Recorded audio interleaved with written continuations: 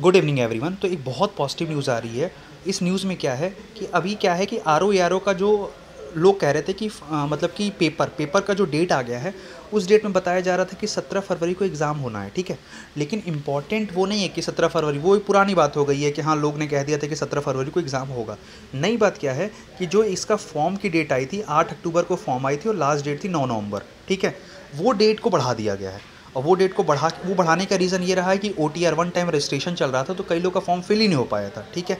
और भी कई सारी प्रॉब्लम हो रही थी फ़ोटो अपलोड नहीं हो रहा था सिग्नेचर अपलोड नहीं हो पा रहा था साइट सर्वर बहुत क्रैश हो रहा था, ठीक है? क्रैश कर रहा था। तो अब उस डेट को बढ़ा के फॉर्म की डेट को बढ़ा के पंद्रह दिन का अराउंड बढ़ा दिया गया है। अब लास्ट डेट हो गई है नौ नवंबर से लेके चौबीस नवंबर तक।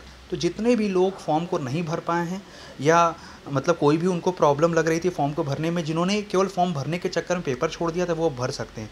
क्योंकि ये फॉर्म भरना भी चाहिए बहुत सस्ता फॉर्म होता है ठीक है? वन ट्वेंटी फाइव का ये वो होता है फॉर्म ठीक है? तो सबको भरना चाहिए। तो कई लोग जिनका प्रिपेयर नहीं होता है वो क्या करते हैं कितना लेंदी था तो लोगों ने छोड़ दिया था ठीक है? तो अब वो भर सकते हैं ठीक है? आ, क्योंकि चौदह नवंबर तक इसकी डेट हो गई है। तो ये एक पॉजिटिव न्यूज़ है आयोग की जिन्होंने लड़कों की प्रॉब्लम को समझा उस पर विचार किया और डेट को बढ़ाया ठीक है?